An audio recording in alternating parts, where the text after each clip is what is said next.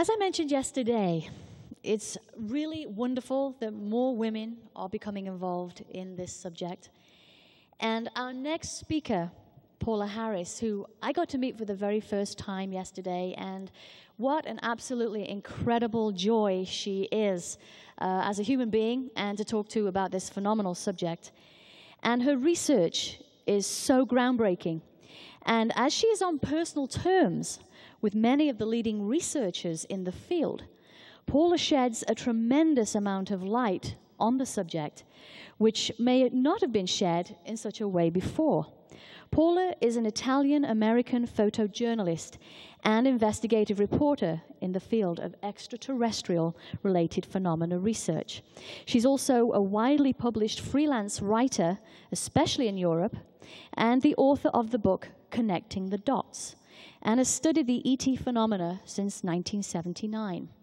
From 1980 to 1986, she assisted Dr. J. Allen Hynek with his UFO investigations and has interviewed many top military witnesses concerning their involvement in the government truth embargo. She's a longtime collaborator with Dr. Roberto Pinotti, director of the Centre Ufologico Nacional. So let us learn more about an international perspective. Please welcome Paola Harris.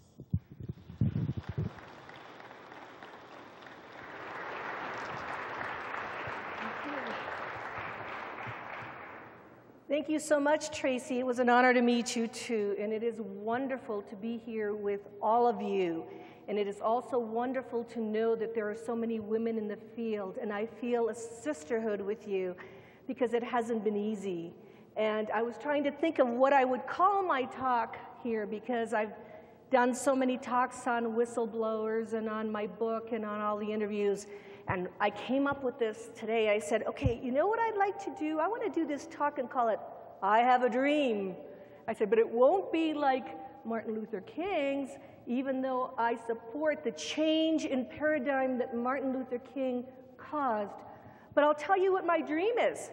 My dream is that CNN, NBC, ABC, and all the major networks are here to get the information after all these years.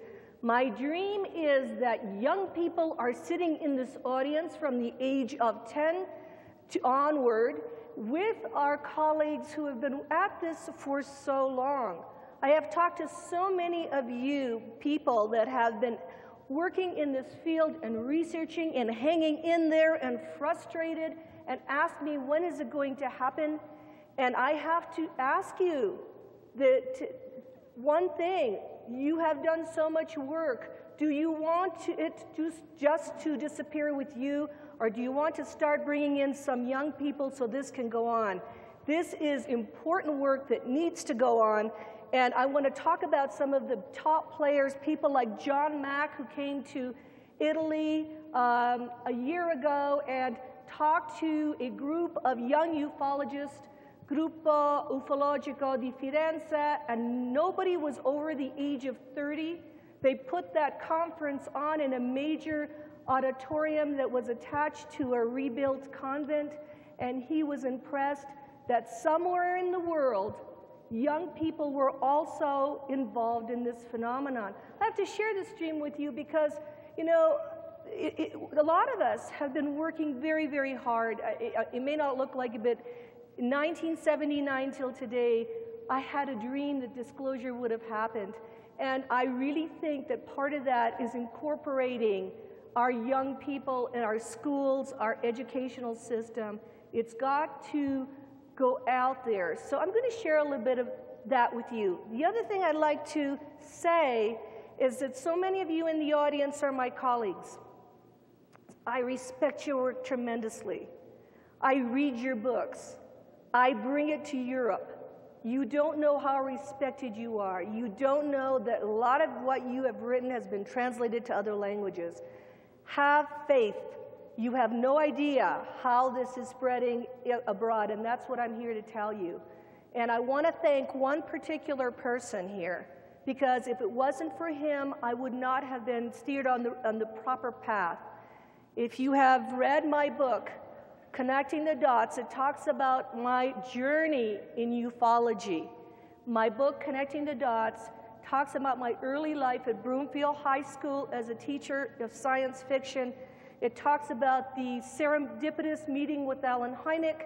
It talks about my translating the Italian um, sightings for Hynek, but it talks about one person who was spectacular in helping me in this journey, and that is a researcher, Richard Sigismund, who is in the audience today.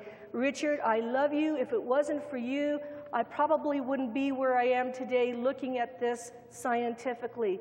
There, I have so much respect for the people initially that were working.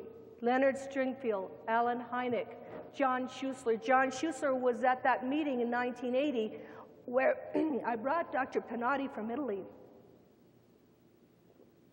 I talk about this because at that time in 1980, John was doing the Cash Landrum case, and we had no real um, footage or we didn't have really good pictures of UFOs. Uh, so Allen said, Would you bring Pinotti? Because you get them from the Air Force. We did. We got these slides from the Air Force. Pinotti uh, had gone, Dr. Pinotti had gone to the Air Force to ask for them. It is not unusual for the Air Force to work with researchers. In uh, the year 2002 at the San Marino conference, one of the Air Force top brass spoke and said that they were just as confused as we were, and they would also like some help that they would give us the sightings. That is not unusual in Europe.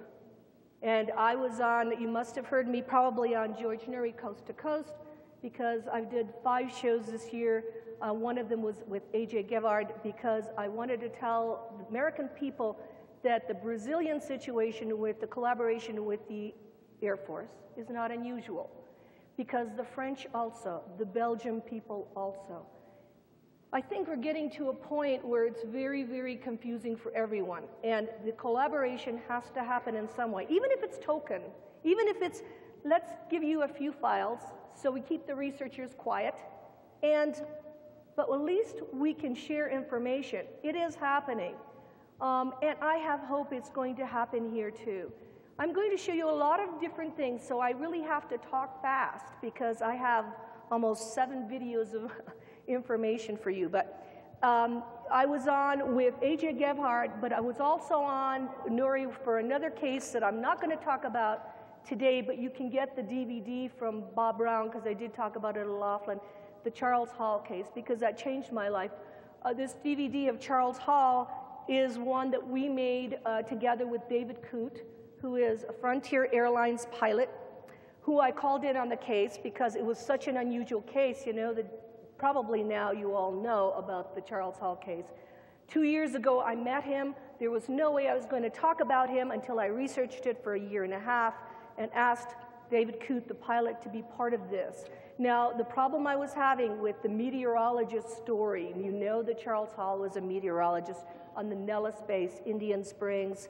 It's in the MUFON proceedings if you want to see that, plus the picture that um, David Coote, who is Frontier Airlines pilot, took of that part of Indian Springs where Charles was uh, stationed.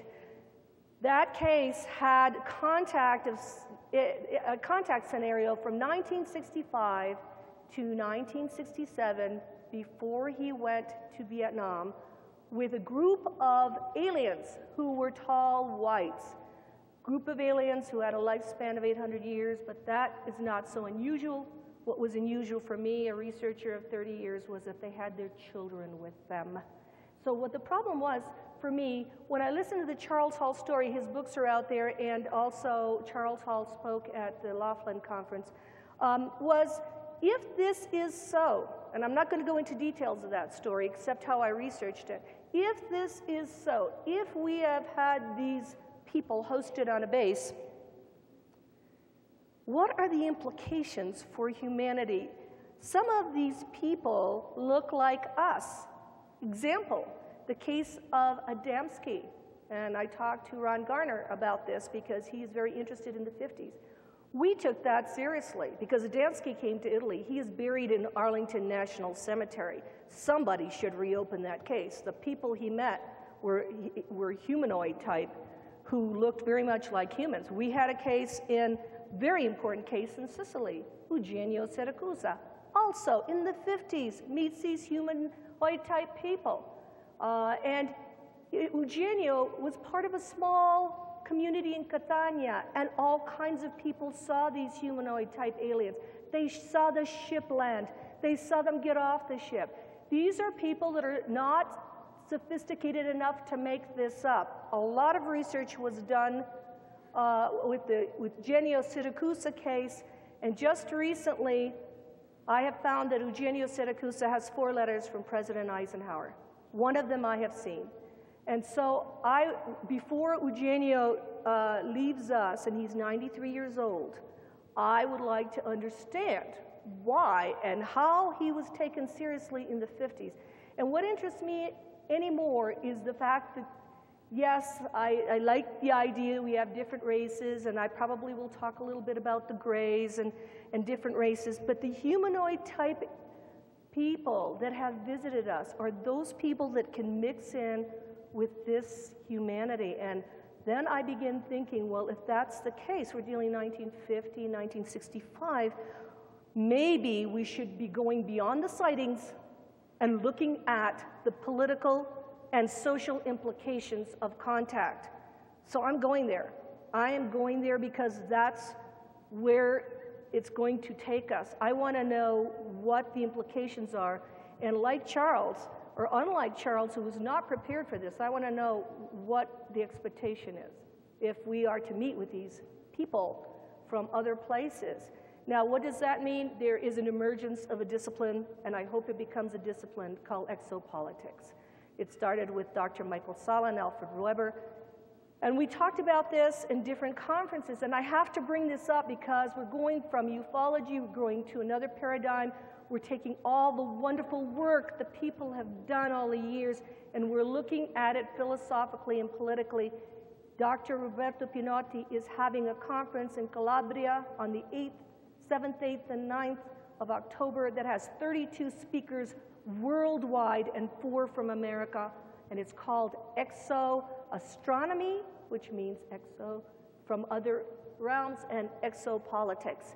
So Dr. Pinotti is going there so are a lot of different people because we have to take that step. Okay, now, if, I don't know, remember Carl Sagan? He did exobiology. And Carl Sagan knew that he had to call it something else, a matter of semantics. It's still ufology. But what it is, is taking the focus away from just sightings to implications. And also, when we get these stories, like the Charles Hall story that has no place to be put, where are you going to put that? I mean, when I started doing Charles Hall, I thought I was going nuts. That's what I, I said, I have nothing here to compare that with. Of course, later on, I did. And I have to add another thing very quickly because I don't want to spend a lot of time on that case is that if it weren't for a LAPD retired policeman who heard me on George Noory, who went to find the other three witnesses, because you try to find witnesses after 40 years without hiring a private detective, it's impossible. If it wasn't for this man who found these four witnesses and chased them, and the LAPD can do it in two seconds, uh, and we call them to ask about Charles and his being stationed there and about the phenomenon and so forth. If we hadn't done that, I, could, I would have never released the story. And not only that, but uh, also concurrently, we asked uh, this uh, sergeant in the LAPD, could he get us a forensic artist to do an identikit, what we call in Italian, an identikit but what it is is a forensic drawing of an alien. Now that's never been done. When the LA, when the Anaheim Police Department does a forensic drawing of an alien, for me, that becomes serious business. It is no longer ridicule. It is no longer in the back burner. It is no longer in the ghetto, as Stephen Bassett says, because she signed it. So these are things that we can do. I hope I'm giving you some stimulation to think about and some ideas besides drawing in young people, drawing in other uh, groups uh, from society because this is serious business. Okay, I'm going to go on really quickly because my presentation is an international perspective. I have so much to show you that we don't even have time to go through it all. But really quickly, I want to tell you that when I come to the United States, and it's only in the summer, I go to where the story is. Now, does that cost money? Yes. Where do I get it? I teach school. Nobody subsidizes anything here. My mother's very angry, so is my family but that's where the money goes. I go to Phoenix because it's at Phoenix, people. I'm sorry, but I go to Phoenix because I have to see why there are lights appearing now in Phoenix and there is a crop circle there. Go to my website and find out about the Tolleson crop circle that appeared all over South Mountain or under South Mountain that has cuneiform writing. Now, is that just something out there? No. Uh, the notes of the grain and its barley have been already analyzed by Dr. Levengood. Is that the latest? Yes. That's the latest. It's on my website. But then I'm asking myself as a journalist, what are those lights still doing appearing there? Then we have this message here underneath that nobody can read because it's probably, and we don't have scholars interested in this. Um, and I'm supposed to speak there on the 14th, and what happens is the day before I come there, I have been getting communication from a security guard who works in a gravel uh, mine situation, and he has been, he heard me on Noory, and he's already mailed me several of his digital, uh, he's let me see several of his digital photos, but the day that I'm speaking there, he brings this footage. I, I would like you to see this because it's only a few seconds long, but this happened the 13th of July, which means those lights are still there. Let's, can we show that? And somebody needs to go there because I can't go back. So, um, can we show those? You'll see two lights, and then all at once you'll see four. You see those two? Those strobes are from the airport, but the two lights that you're looking at right there are there's two, they will fade out, and there will be all at once, there will be four, and then they will, the two bottoms will uh, go away.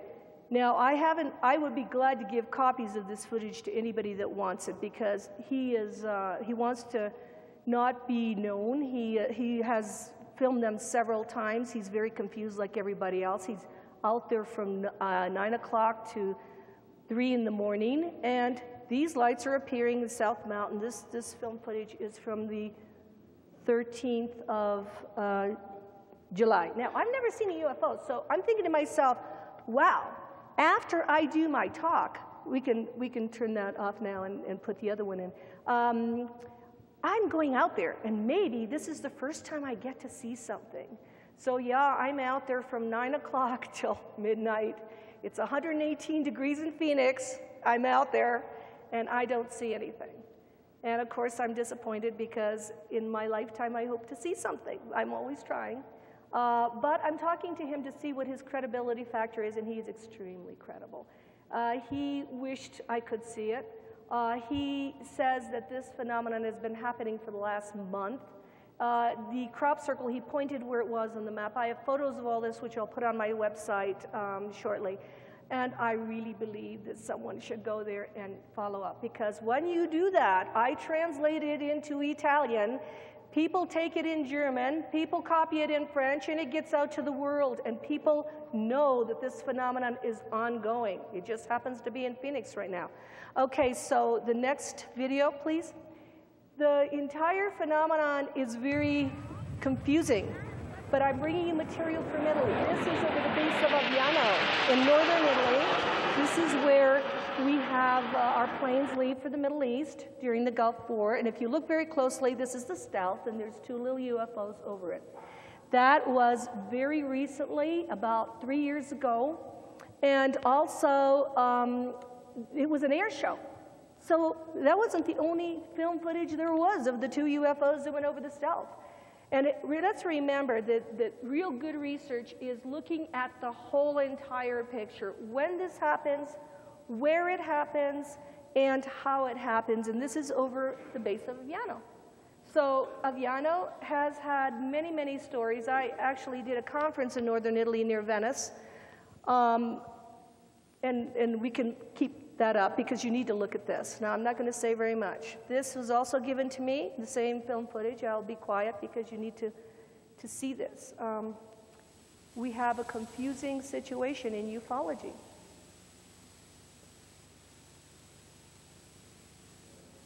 This is near Aviano also.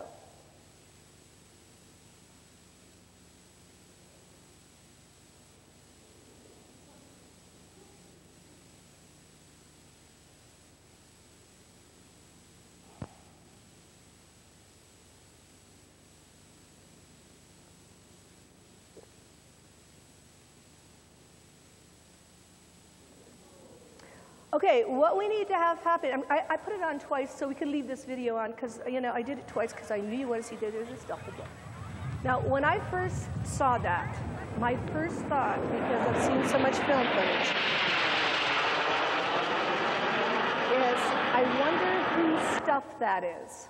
So I would like you to see it again, then we'll have a little discussion about this, that other film footage. Now, that's circulating in northern Italy because um, we researchers have gotten this footage now. That we know what it is. We know those are two UFOs. They're not playing games. It's, you know, they filmed it at an air show.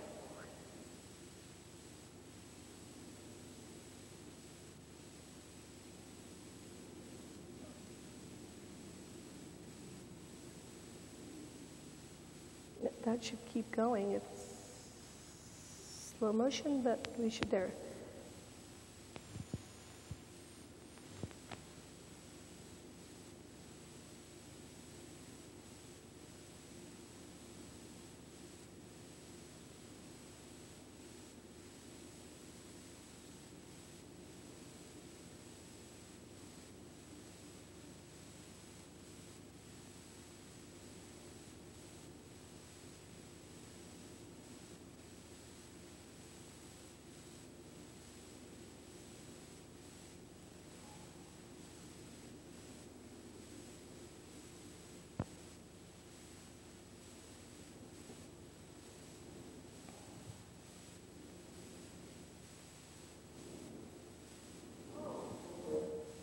Okay. Well, when I saw that as a journalist, my first thought was the photographer knew it was coming because the camera was pointing in that direction. He was, I believe, using a tripod, which means he was invited to do that. For me, that was an air show. It was a little show that that UFO was putting on. And it was close to, it was a place called Ponte Giulio, which is very close to Aviano, so I said, that's our stuff. And that's probably somebody that was a military photographer that was taking this and is leaking it out. Because otherwise, the contactee would have had to be invited to stand there. He was pointing in the direction of the forest where the, the object came out of. He was, the object has flanges coming in and out. And I think that could possibly be, I've never seen anything like that, so that could possibly be VR stuff. And then it takes off in a warp drive, which probably is the case after 40 years if we believe the Charles Hall story and the exchange of technology. And I'm thinking, and other stories, I mean, he's not the only one. There is a whole series of proof that we've been back engineering. But I thought, okay, now what if that happens to be a digital, uh, what do you call those, uh, video game. And, and somebody just shoved that in there. I've got to be careful. So I did show that to some friends of mine in Boulder who are wonderful um, people because they aid me in my work. And these friends of mine gave it to Rachel uh, Summers, who is here present, and she took it to a lab. And her analysis, and she has all the notes on this, showed that that is a real object that it is in the video, it is not just superimposed as some video game. It is the same density. They even knew that it was a fourth generation tape, which it is. I mean, it's amazing how people can analyze, because when she was giving me her notes, I said, You're absolutely right, it is fourth generation tape. Yes, how did they get that? They, they lined it up and everything. It is a real object. The big question is, and that's why I'm interested in the exopolitical field whose stuff is it? Now, why would I be interested in that? For many reasons. Can we show the next, um, the next DVD, please? This I've shown many times, but I think it's so important for you to see this because I'm very interested in Steven Spielberg. In my book, uh, uh, my second book is going to come out in 2007, and it's going to be called um, UFOs and Exopolitics Problems and Protocols. And I want to cover a whole chapter on Spielberg because I found out that Spielberg had gone to a party at the house of Francis Ford Coppola in the 70s, and who was present besides Jack Sarfatti uh, was um, Uri Geller and Jacques Vallée. And when I heard that and I knew that had happened, there's a lot of implications to where Spielberg was going with disclosure. So can we put the DVD in? And uh, for the people to see. And I wanted to, to talk to you about, he talks about two things in this DVD. The uh, young people need to listen, and I'm hoping that we work more with young people. And he talks about the idea of aliens, because if we're looking at society and disclosure movies, we need to look at if we see a Foo Fighters, some kind of battle of the War of the Worlds, is it our stuff or is it their stuff? For me, it's very, very important that we discriminate and we do heavy research in this area. Uh, because I can tell you, for those people that camp out, and I will never do this, at Area 50 when I watch all the, the modern technology come up there and they can't tell the difference and so forth, uh, it gets very confusing. And, and, I would not want to make any mistake like that. It's a major mistake. Uh, in the questionnaire, you said that you hate most when people do not listen. I want to give us some advice as young people who don't often want to listen.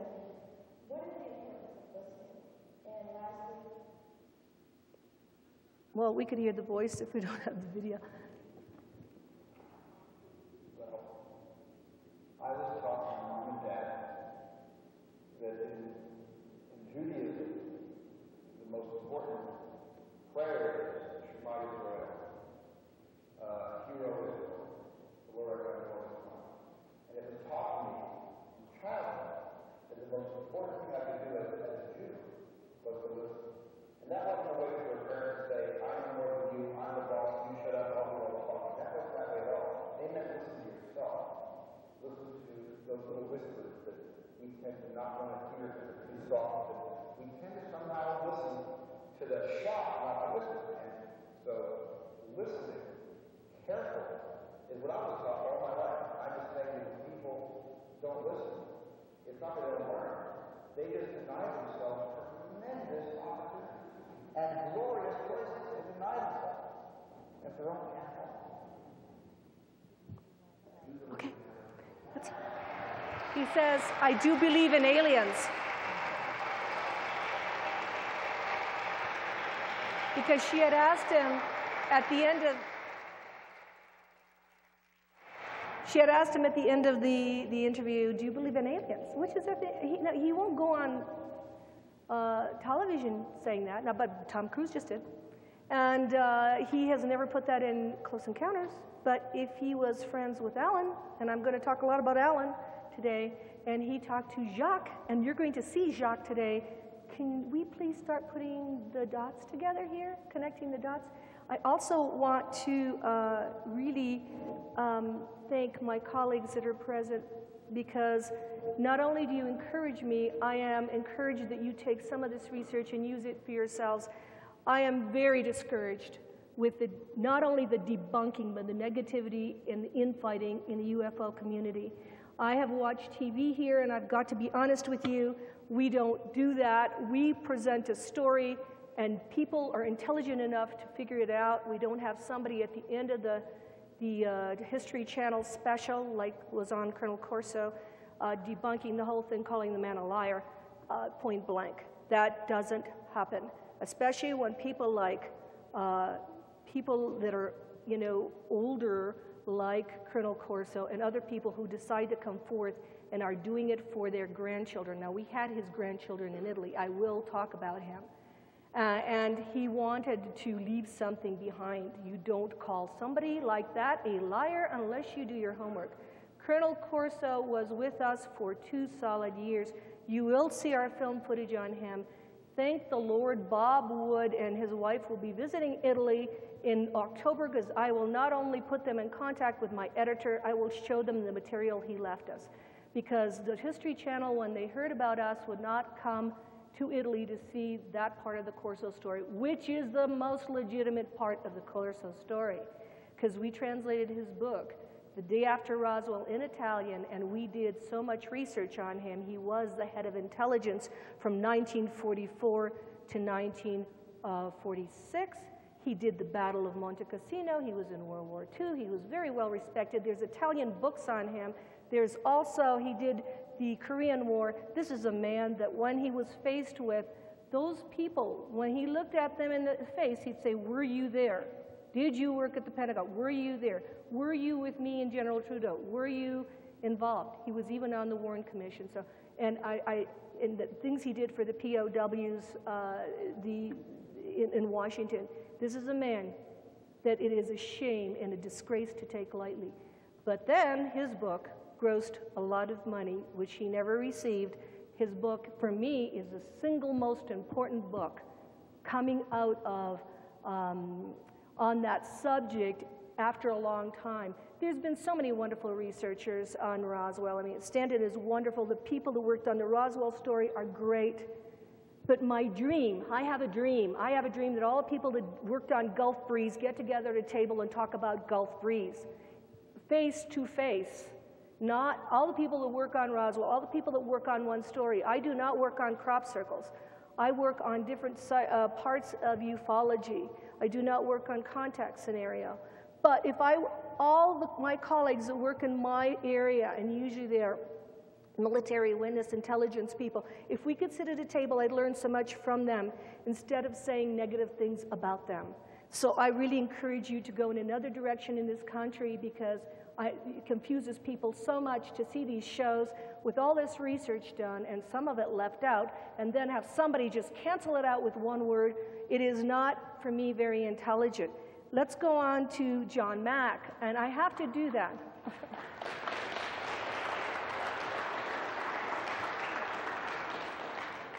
Meeting John Mack changed my life. I just told you I, I, I, don't do contact scenario because I'm not good at it, not because I don't want to know about abductions and contact, but I'm just, I'm so confused about it because it's very hard for me to see if people are telling the truth and then there's all kinds of, um, you know, emotional and esoteric things around it.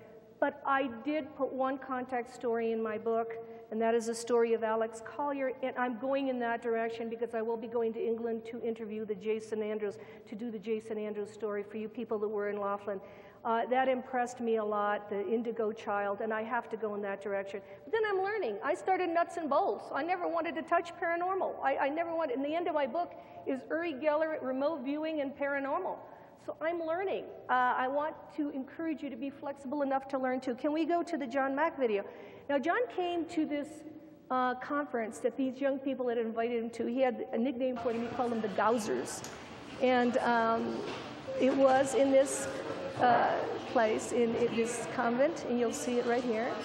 Uh, you can see it's a, we have our, our conferences in different places. And he is talking to a contactee, the one with the baseball cap. It's amazing.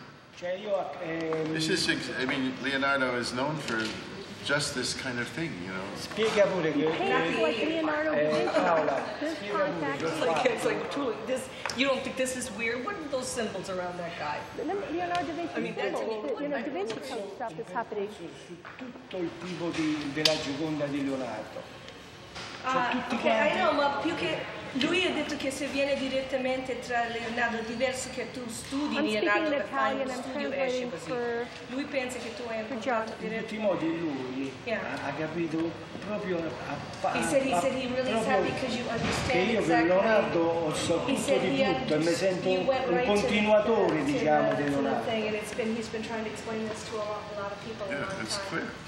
He said that you went right to the point that he has a soul connection with Leonardo. But see, Leonardo's uh, not just an artist. Leonardo uh, had a, a, a vision that transcended this earthly vision. Ok, ha detto Leonardo da Vinci non era solo un, un artista, lui ha tra, ha tra, come si dice, trascendato. Un'anticipa- eh, Trasceso. tra- no, ha andato andato oltre, oltre, oltre. le cose, Pensiero. il pensiero. There's all sorts of symbolism in, in Leonardo's paintings that nobody has been able to Ci- ci understand sono- that, that have to do with birth and with uh, connection with the divine sono that, that, that, are hidden from the church so the church wouldn't get it. Ci sono tanti simboli dentro le, le, le quadri di Leonardo che sono nascosti dalla Chiesa. So, ci sono che nessuno sa che Leonardo era, poteva essere un contattista, no? No, che è era andato, un he said Leonardo was a contact. Yeah, that's, that's what I think too. Ad esempio qui, No, I, I think we can show. ad esempio qui ci stanno dei codici nascosti. Vinci Code. He said Yeah, it's full Leonardo of had here we go, uh, Da Vinci Code. Not all codes that were hidden in the paintings. And somehow Tony Micheli is downloading these codes. And look at in our society, this Da Vinci Code thing. And this is a contactee who has met with um, a group of ETs that he has uh, drawn and uh, painted and is talking to John about the implications of what he's been told. And evidently, Tony Micheli was told a lot of material that coincides with Zechariah Sitchin material, with the return of Reveal, with a lot of stuff like that. And then he's going to say to me, has anybody taken on this case? And I said, I can't. We can stop this, this, uh, this video now. This is just a little piece, but you know, I love John Mack. I miss him so much because of his compassion, his open mind, and so forth. And that, was, that would be my memorial to him. He talked to Tony and, uh, and told me that somebody should have taken that case two years ago because this was a major contact scenario. Now, we lost John, so John could not work with Tony Micheli, but I have a painting at my table that Tony Micheli did, a beautiful painting that will be at the John Mack Center in Cambridge that has the um, alien that Tony Micheli sees, plus he has the blonde girl that was in, I don't know if it's Dakota Fanning, in, in Taken. He, he has a, a picture of her, he's, he's painted a picture of her, and a gray, and uh, John being taken up into a UFO, and a beautiful picture of John uh, right in the center, and I have that painting. Now, that painting is huge, and I sent it to the John Mack's um, Peer Center uh, in Cambridge, and that goes to show you how transatlantic we're doing a lot of things and how he affected people in, uh, in Italy as well as here. Um, that learning to go in that area for me is a mind stretch because I usually stay in the area that I'm sure about. Uh, the next area I'm going to take you to is an, uh, a, you can put the Cliff Stone um, video there is my, one of my first neophyte videos and interviews that I did with Clifford Stone in 1997. 50th anniversary of Roswell. Who goes to Cliff Stone's house? Victoria Pacaccini from Brazil and Paola Harris from Italy. All the other researchers, I don't know where they were. Here I am filming. Uh, uh, he's got the microfilm there. And uh, delle cose di Blue Book. You can come over here and take a look. These are the files that we've downloaded thus far, that we have are Blue Book reduced to files he's paper, got. so we And can make copies for other people. That goes there. He Facts about. UFOs. The UFO movie, which they wasn't happy with, they did not want this movie coming out. I got a copy of that movie, by the way. What, what is the UFO movie? UFOs, unidentified flying objects. And who made that? This was put out by, it's released right now through United Artists. It's the story of Al Chop's tenure with the Press Information Office at the Pentagon. Wow. It, to, to me, to this day, it remains the best document, docudrama ever made on Blue Book. On Blue Book. But Blue Book, uh, Allen worked with that. He was told to, to uh, explain away all those things, wasn't he? Oh yes, well, if you go through some of these reports, you find the out swamp gas stuff, yeah? exactly what happened. As a matter of fact, they knew it wasn't swamp gas, and he never said it was swamp gas. He, he got there in Michigan. The Air Force says, in a half hour, we got a news conference, have something to tell them. Remember. I hope we can show this because this is I had to fight my way through reporters to interview the witnesses.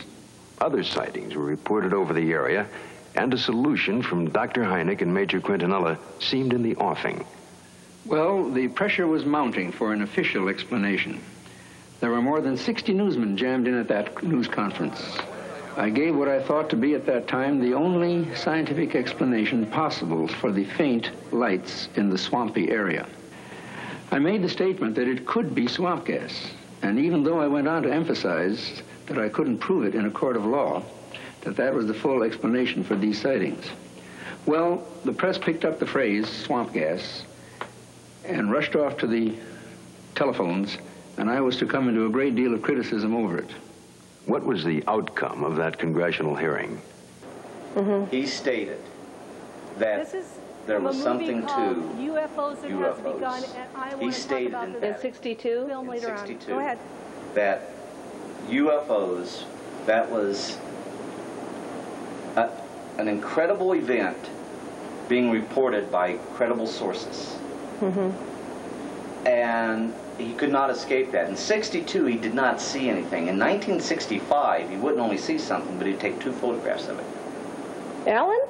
Yes, I did. He never told me he had a sighting. he did. He never told me he did In have a sighting in an airplane. And he took two photographs of it. See, this is news for me because I used to ask him, Allen, you know, I never saw anything. Can you tell me something? So, and he took his own photographs of it. I Where, have, I have slides. You have I- slides of in those? Another book, in one of the books he wrote, I can show you the photographs. What? Do you know which book it is in? Sure do. If you'll You're excuse kidding. me for a second, I'll go up to my Absolutely. In other words, it was your job I'm saying. It was my job to, know to, this. to know this. Okay. It was my. Here's the two photographs of the object And he- that I next saw. And the, what page is that of a UFO experience? Because I think we have it in, in uh, Oh, it's in the photo section. It's, it's close to what? Because I'll tell Modi to look it up. Well, one, what is it? I don't have my glasses on. I think Okay. it's 151. It's 151, right. And he took those pictures? He took these photographs. If you read right up at the top. And he actually admits to having taken, taken them? Yep. You got him on tape Oh, saying yes. he took them, taken them? But the tape was what, for the government? Well, actually, it was put out by Edmund Scientific. He did in 1977. He did three, uh, three slide interviews narrated by t- uh, by audio tape. Mm-hmm. I went ahead and got those, and I use those a lot. Mm-hmm. So I still have those. I still have the tapes. Joe's heard them. I don't know if he can recall that or not, but he says, in the often asked question uh, as to whether I have ever seen a UFO, well, here it is. And that's almost the exact quote what he says. And did, did you know him at all? I mean, did you ever talk to him? No, but while I was in the military, it was my job to go ahead and have a liaison with them, So I even had the 800 number in Germany. Uh-huh. We never used it. But of course, we were also the ones that went over the MP blotters, and if we found anything of any consequence, we would go ahead and ensure all the loops were closed so that nothing would be coming out that shouldn't be coming out. We Okay. didn't have the blotters rewritten, even in your country. Okay. You didn't have the what rewritten? We had to have the blotters rewritten with the incident of UFOs taken out. So, you know, we know there's a cover-up in Italy for sure. I mean, we, do you know of any down saucer in Italy for sure? I mean, any anything that you remember? Yeah, you're going to show me. Oh, that's they're going to love this. And what he did was show me the moon dust, The moon dust files with the Italian crashes, and I was in shock. I, you know, because he has all the crashes. Because Pacaccini then came in with me and said, "In Brazil, were there crashes?" And he said, "Yeah," and he pulled out files. They're readily available. I am so surprised that so many researchers have not gone down to speak to Clifford Stone, who, who's ailing, by the way. He's, he's not that well. We have a wealth of information if we'd start connecting these dots. That's all he does is download information. He has filing cabinets full. And of course, I learned a lot when, when I looked at there and saw what places, what cities in Italy were involved. And um, so I really highly encourage people to uh, talk to the people that are still around about this. I, you know, I'm almost vindicating Allen because he got so much um, uh, hassle about the swamp gas, and you heard him say that he had five minutes to make up something. Cliff already knew that he was like that, that it was not something that it was very difficult for Allen to, to talk about this. Let's go on with that particular video because I think there's Cliff Stone's testimony. You need to see this, okay? I just came back from Crestone where I did a two and a half hour interview, and I will say that we need to acknowledge the Disclosure Project. Let's get off the personality stuff. I think that was one of the of most important things that ever Tremendous happened. courage to have come forward. We listened to it in Italy. He There was a lot of work down there. Full career, retired from the U.S. Army. turn that up? This worked with the nuclear, biological, and chemical teams as part of his career, and that was in part a cover for other operations in which he personally went to landing and crash sites of extraterrestrial vehicles. This man has personally observed, handled extraterrestrial craft, and has seen and handled living and deceased extraterrestrial biological entities. He has come forward under great duress. I'd like for you to welcome Sergeant Clifford Stone.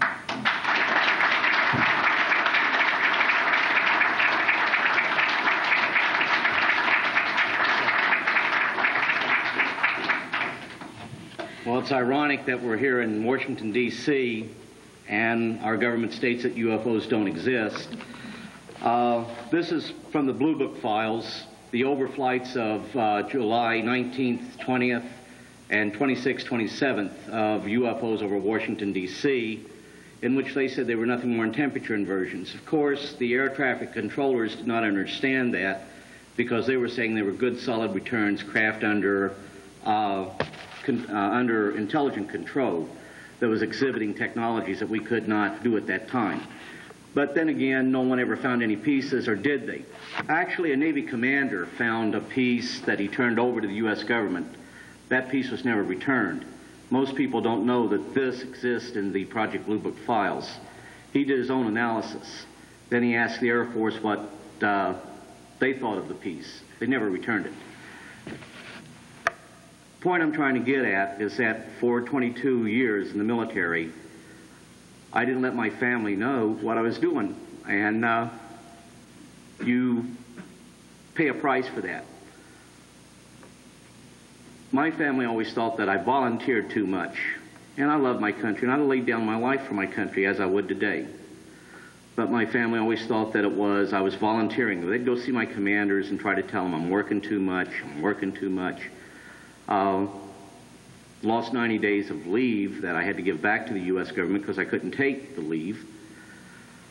And that upset the family. But what they didn't know is what I'm going to tell you tonight. There were craft that did not originate on the face of this planet. They had living beings in them, living entities, people, very much like you and myself. When I say that, I mean that they had cultures, they had lives, they had families, they had likes, they had dislikes. It wouldn't take me too awful long after being in, exposed to the program where we were doing recoveries that I came to realize this. But then I could never ever tell my family what I was doing. I'm wanting to relate one incident to you, and that one incident is uh, the incident that really propelled me on to that type of situation. And that happened at a place called Indiantown Gap, Pennsylvania. I was in the 36 Civil Affairs. That's uh, a 36 Civil Affairs company. That's a group that uh, would go out and establish a military government pending the establishment of a civilian government should we be involved in a conflict in which we take over a foreign country. We would naturally want to return uh, civilian leadership to that country, and that would be the job of the civil affairs units in trying to establish that goal. However, each company in 1969 uh, had NBC units, and I was a member of the NBC unit. That was my primary job as the unit NBC NCO and the communications NCO. Uh, exact day, month, I can't tell you because I never, never ever planned to relive this, never ever planned to tell a group about this, but I can tell you the year was 1969 when we went out on that uh, field training exercise. Somewhere during the course of the night, we had some people come up and tell us that there was a craft that crashed, uh, possibly a U.S. aircraft, may have some type of nuclear device on it, and we were going to move out to that location, just the NBC team.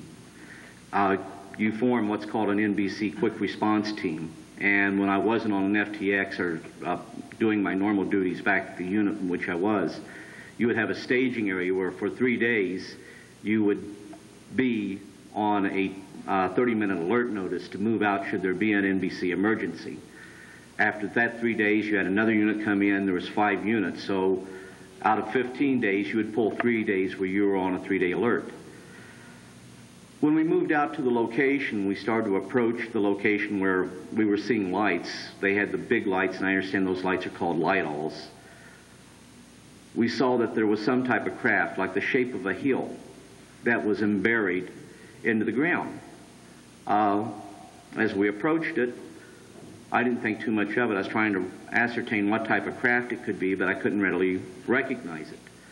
Once we did get to our location, what we call our staging area, I immediately started go ahead setting up the 312 telephones that we needed set up and our Prick 25 within our communications deuce and a half, and that's what we were using was a deuce and a half for our communications vehicle. I set the one Prick 25, which is a field radio, on the company uh, push. Then the emergency push that we had for the unit that was out there, which I was assuming was a quick response team, to this location. I was immediately told, uh, specialists, do you have a APD 27 on board your vehicle? I turned around and said, yes, sir, I do. He says, get it out, and you need to walk toward the craft. We need service, uh, surface readings as to the radiation count. So I started to go ahead, get it, and I was uh, walking toward it, and I was yelling out the counts as every time that the Geiger counter would shoot up. Once I got to the craft where it was buried partially at about a 30 degree slant into the ground, I could look down into the craft and I saw what appeared to be a cockpit. The cockpit wasn't open. On the side of the craft was like a kidney shaped hatch that had been fully over it. You couldn't even see the seam. But in this case, it was open. Uh, once I got there, I went ahead and I looked down, and I knew what I was looking at wasn't human in our definition of human, in that it was smaller. The head was much larger proportionately than what the head of a human being would be. Uh, it was hanging out over the side, and I was pretty sure it was dead. Uh, alongside of it was another one that uh, was hanging out halfway out, uh, one arm, one head, and uh, I was getting a higher than average background radiation reading at that time. And I told him that. Then I went ahead and I went ahead and I said, I need an officer up here. And all I heard was, It's okay, son, just tell us what you're seeing. I said, No, sir, I don't think you understand. I need an officer up here. And they says, Just tell us what you're seeing. And I told them essentially what I've told you tonight. That would be the first case, the first case that I'd ever be involved in as far as making an approach to entities in which we saw that had been killed. I can tell you there were four entities in that crash. Uh, wasn't too awful long after that that I got to see a live one. In that incident, I can tell you we had communications with that entity. And I can tell you one of the words that uh, rang loud and true in my ears I am afraid. Me and another uh, office, or me and another soldier, assisted that entity in escaping. The guy I always called the colonel, who was really the guy that always led the teams we were on, every team I was on anyhow, he came and was telling me what could happen to me, very angry at me. He said, Do you know what the penalties are giving aid and comfort to the enemy? And I said, Excuse me, sir, I thought you called him a guest. And he says, well, don't let it happen again. I told him if I, if I was caught in the same situation, I'd do it again. I could identify with that entity's uh, very simple, I won't go into how I knew, but simple verbiage, I am afraid. I mean, you never felt as much pity as what you would have felt at that time. There was a little place called Vietnam. It was only, what, several thousand miles away from home, and I too was afraid at 19. But the whole situation is these were things we were never going to talk about. These were things that we were never going to bring up. These were things I was going to keep my, from my family. Then the day arrived. I felt that my family had a right to know I wasn't there for certain things. Uh, why sometimes I was quick to snap and why I could never, ever have the luxury of having friends because I might say something. So when the day finally arrived that I felt that I should tell them, I told them. And I was very afraid even at that time telling them, but I thought they had a right to know. Tonight I come to you as a scared individual, scared little man, telling you just a piece of what went on in my life. There were other incidences but I felt you too might like to know that that is the case. And I said it yesterday and I'll say it again, that the absence of evidence is not the evidence of absence. It's evidence that is just simply denied to the American people. I stand here to tell you that before my Almighty God, I am willing to go and stand before Congress and tell them what I've told you tonight as being the truth, and I interlate more of the events that have occurred. because I have that moral obligation not only to my family, but to every American and every person on the face of this planet. I have that moral obligation, possibly even to our visitors. The situation is we're not alone in the universe, and I just thought you might like to know. Thank you, ladies and gentlemen. Now, in what happened after this is Stephen couldn't talk for about five minutes because he was also in tears. Uh, you know, I, when I did the interview with him about a, a week and a half ago, um, he said that after this had happened, the Disclosure Project in Washington, so many more people came forward. And even though he's gotten so much hassle, and he said his family has paid for it because, you know, he has daughters in college and another very young daughter. He's also grandfather. And people forget that when we talk about people here, they have families, uh, that he will take uh, the new evidence and possibly work on a second try at disclosure because he's, he's right now just concentrating on the CSETI stuff.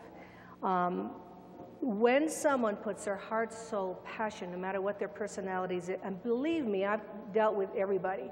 So I know what the egos are like, and I know what the personalities are like, and I have been with them in Europe. If I list all the people we've brought over, uh, and I just finished bringing Monsignor uh, Corrado Balducci to the X conference. He's 83 years old, and it was really very difficult because of his age. I, I brought him over with the wheelchair and so forth. We need to stop looking at the personalities and start looking at the evidence. That, for me, was very powerful. But what I want to tell you is something else. We took that, we translated it into Italian, and the people in Italy gave him a standing ovation because they're looking at all the information from America. Even though you might not think it goes anywhere, they are putting together all of your research, all of the people, my colleagues' research, all of the research, and they are having seminars and major conferences worldwide on the UFO question. When that flyover of Washington happened in 2002, 50 years to the day, and I don't think aliens wear watches, that was a message, a cosmic message, on the front page of Corriere della Sera, half of the whole entire newspaper, as Essen had shown in her Turkish newspaper slides. Half of the Corriere della Sera in Italy had the flyover of Washington and talked about that and the second page had the follow-up. When the Mexican Air Force case came out in Mexico, it was on the nightly news for two nights, and the commentator was intelligent enough to also compare it to the lights in Hessdalen in Norway because he had background. It does happen other places. There, there it is out there. Uh, it is being disseminated. People are thinking it's pretty normal. It's no big deal. Uh, and when this happens in Europe, it's a lot easier to deal with it than it is here. My job is just to bring personalities back and forth and to bring the disclosure. It's not about me at all. It's about the message. It's about the disclosure. It's about what needs to come for forward. I've been told I have 20 minutes, and I have four videos, so I have to decide what to do. Most of you, if you haven't seen the Jaime Maussan video, I want to show it to you because that's recent. Could somebody um, play that right now? It's the flyover of Washington, D.C. of all the, uh, the UFOs. Could you play that piece? I think I, I um, uh, did cue it up. In the film, if you can get it, UFOs have begun. Uh, it, it, has begun. UFOs, it has begun. That's narrated by um, Rod Serling and has Jacques Vallée in it and Allen Hynek in it. There is a piece that resembles the Jaime Maussan video. It is a long piece in that, uh, and I have it here, but I can't really show it if I'm going to show the rest. It looks just like the flyover of Mexico City on May 25th. It was in Utah, because I know people have said to me, how come they can be seen in Mexico City and we don't have it in the United States, we did. And Hynek in that documentary says, he says, well, you know, he said the Robertson panel look at it and they called it birds. So we did have that kind of phenomenon in the 70s. Do you have that film footage that you can show so people can, because not everybody's seen that, just a few minutes of it, it's already cued. Uh, and we made some analysis to this craft and we detect heat can we fast forward then? Because it's, you can, because I want you, there they are. Okay. City again. There they are. the huge flotilla over Mexico City. If we're not going to use the lights, I, could we turn them off? I think people are going to see better. If we can turn these lights off, please. Several Yes. times, but the, the time that I'm thinking of is the 25th of, of uh, May of this year. If that's happening over Are you, Mexico as you City, see, they are standing still this time. They don't move. They're not birds.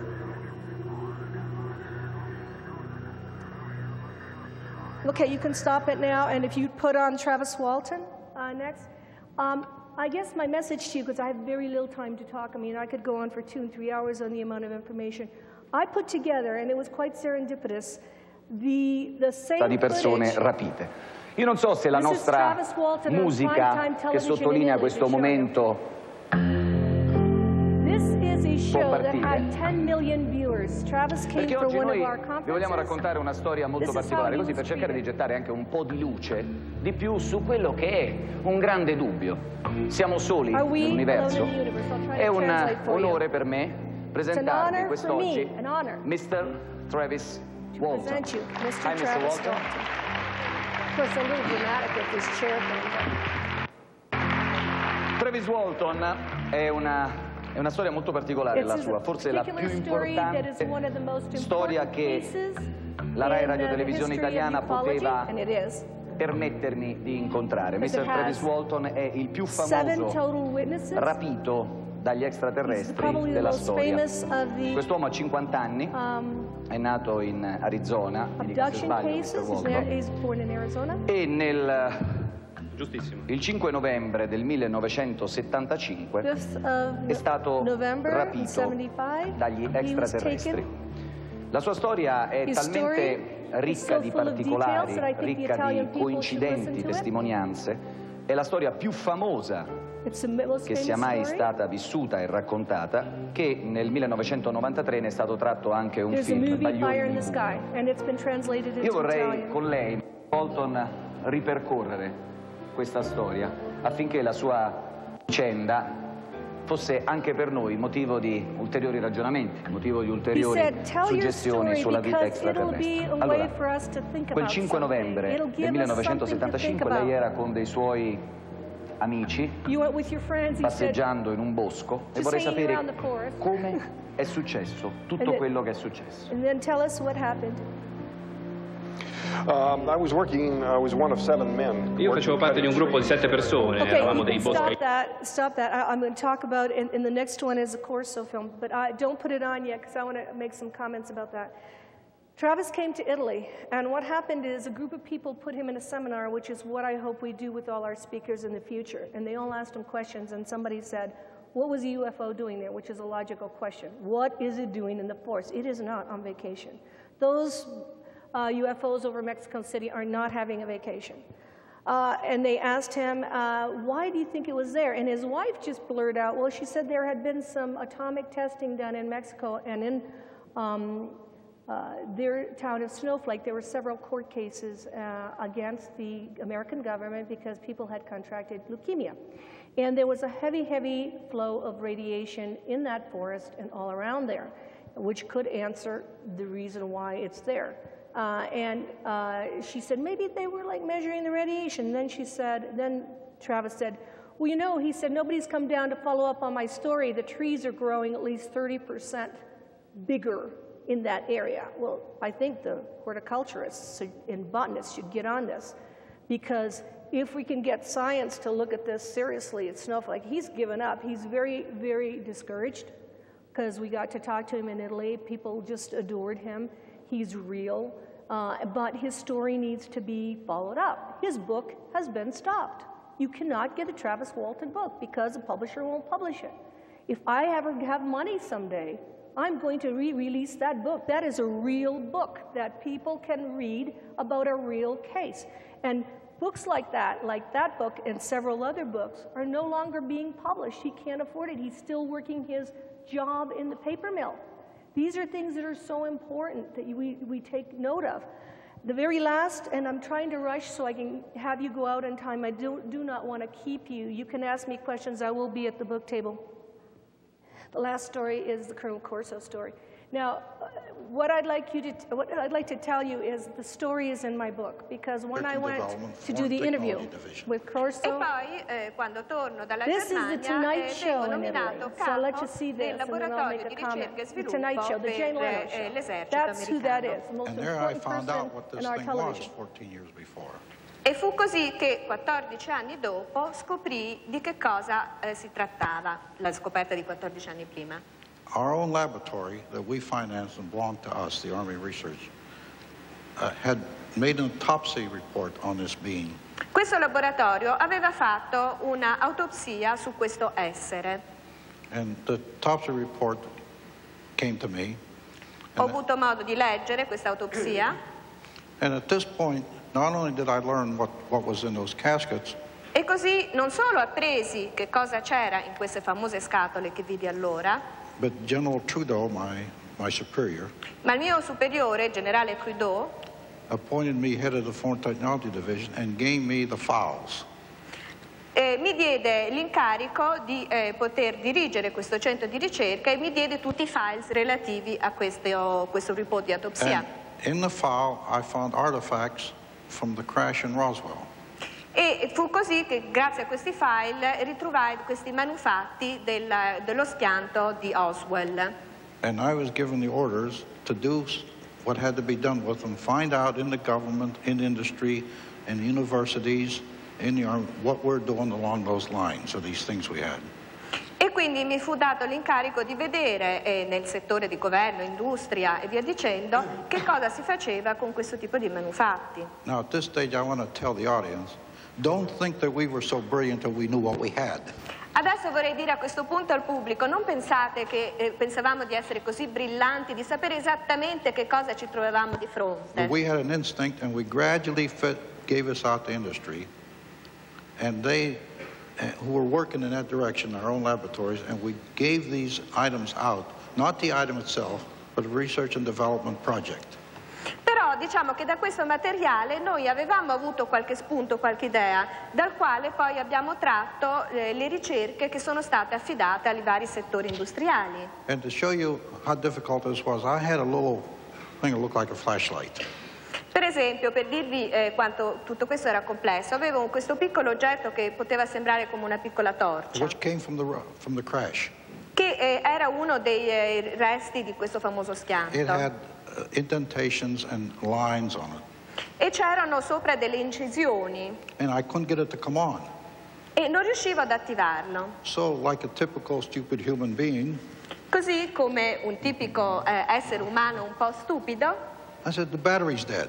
ho pensato, vabbè, figured. forse la batteria non funziona più. And it wasn't all the battery. Ma non era la questione della A few months batteria. later, I took it to our atomic laboratory at Fort Belvoir, Virginia, Qualche mese dopo lo portai al nostro laboratorio atomico nella Virginia and I asked the commander, turn radiation on this object and long low waves frequency. e gli dissi eh, attivate le radiazioni su questo oggetto And it came on. ed ecco che si illuminò. So then I reported back to the general, we send it to our electronic laboratories in the hospital because it, would it was measuring brain waves. It was measuring brainwaves. L'autopsia That's di real quell'essere, interesting. chi ha detto? L'autopsy, what did Oh, it say? Questa, l'autopsia ha detto And he spoke questo. Italian, so Questo, this then he goes e- back in being, English. we called them extraterrestrial biological entity. Noi li chiamavamo entità extraterrestri biologiche, EBE, Because it was, an ex, it was a biological entity. perché si trattava sempre di un'entità extraterrestre And the biologica. autopsy said this. L'autopsia ha detto quanto segue. It had four lobes in the brain. Quattro lobi nel cervello. We only have two. Noi ce ne abbiamo soltanto due. It had no vocal cords. Non aveva corde vocali, It had no uh, alimentary canal for food. There was no food aboard. non aveva eh, esofago, non aveva modo di mangiare, alimentarsi, There was no water aboard. non aveva modo di bere So there was no rest quarters. e quindi non vi erano i generi alimentari che normali che avrei potuto Our own ingerire. astronauts in space, we have to time down when they go to sleep. There was nothing like that aboard. Non c'era eh, nulla che eh, gli facesse pensare una vita normale come noi esseri umani, anche di dormire e mangiare. They didn't breathe air. Non respiravano There aria, was no non c'era ossigeno a bordo. So I was asked, how do they le- live? How do they propagate? E allora io eh, mi sono chiesto, ma come fanno a vivere? Come fanno anche a, a, pro- eh, moltiplicarsi, The, proliferare? the general asked me that. Questa è una domanda che lo stesso generale mi pose. So I, uh, I told him I read Tesla's reports, the great scientist Tesla. E eh, io ho letto questo report di questo grande scienziato, Tesla, And he said our own cells are electromagnetic. e, eh, e gli dice le nostre stesse cellule sono elettromagnetiche. So they must propagate by electromagnetism. Allora, eh, can turn this questi off because I probabilmente only si have like five moltiplicano. more minutes to wrap it up. You know, I spent a lot of time Corso, but so did my boss Maurizio Baiada. We translated his book. I wrote the preface to his book, but mostly he spoke twice in Italy. Once at a huge conference in San Marino, uh, and another one, another time in Pescara. At the Pescara conference, there was present Michael Lindemann, um, Jim Courant, Bill Hamilton, Desmond Leslie, all those people spoke to Corso. All those people had time with him. Jim Courant even did an interview with him. All of them found him credible. At the San Marino conference, he was lucky enough to mix with uh, the Chinese representative, Boris Chernoff from Russia, um, from the French representative, Gildas Bourdais. I'm really encouraging us all to do more international work. Those people were able to speak with him. He left uh, us with papers. My editor, Maurizio Baiata, may come to United States next year. He will bring some of the Corso material that Corso left with us in Italy. He loved Italy. He, he is Italian extraction, but most of all, that was the venue where he could speak the uh, clearest. And what I encourage you to do is to uh, listen to Maurizio because he will have not only unedited Corso material, but he will talk about um, what Corso left us. A book was written called The Dawning of a New Age. It's on the public domain and all the newsstands in Italy, which are the original Corso notes. They have not been printed here. So there is so much more. Please ask questions. There is so much more to the story than one thinks. Do our homework is very important. Let's look at it as let's not take the, the word of just somebody. I do not do anything, and nothing in my book is without facing the person, visiting the person. Clark McClelland at NASA, I had to go down. He uh, wanted to do a story. I wanted to know if there had been UFOs. Uh, in- involved with NASA. I had to go down there. I wasn't going to do the interview on the phone, and I wanted to look at him. I wanted to see other things he had. Everybody in there, I have gone to visit. Dr. Michael Wolf, I won't even get into that. When we started doing that story, we were visited by the intelligence community of Rome.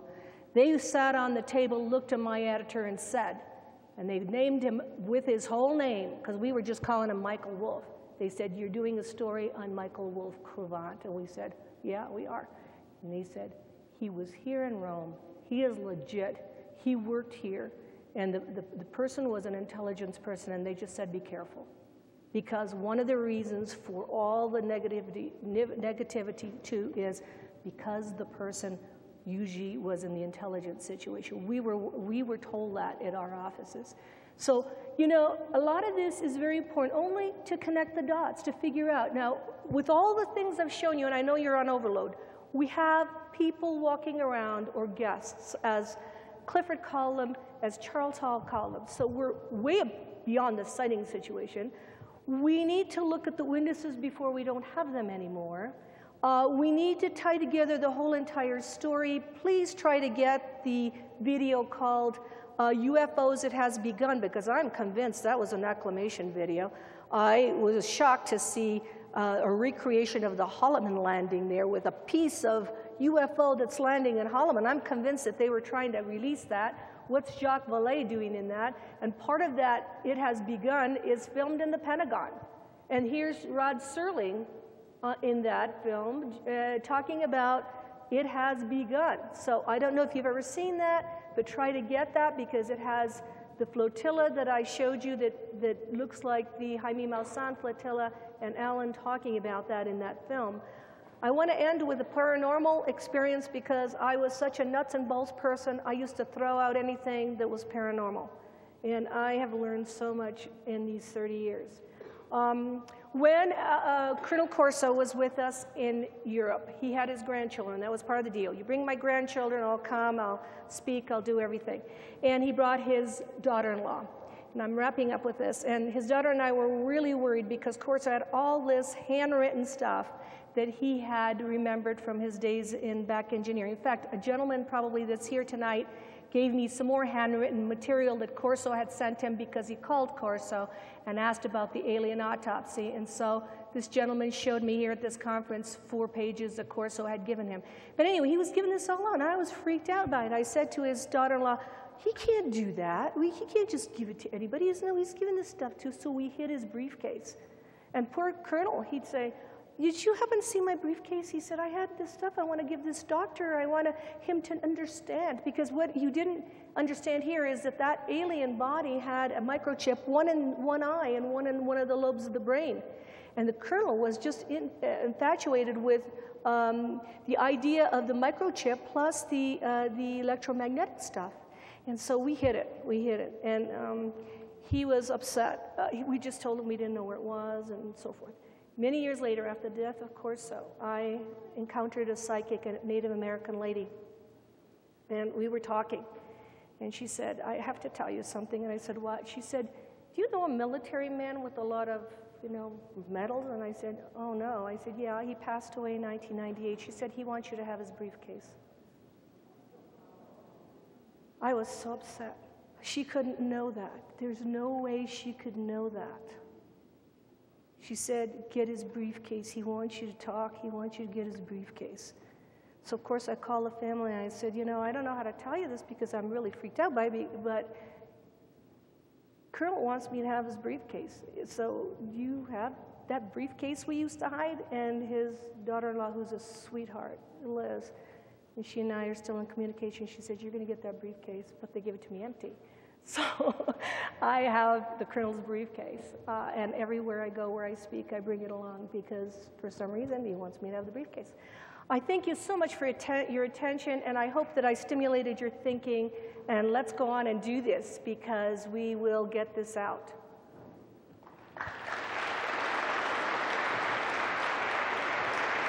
Thank you.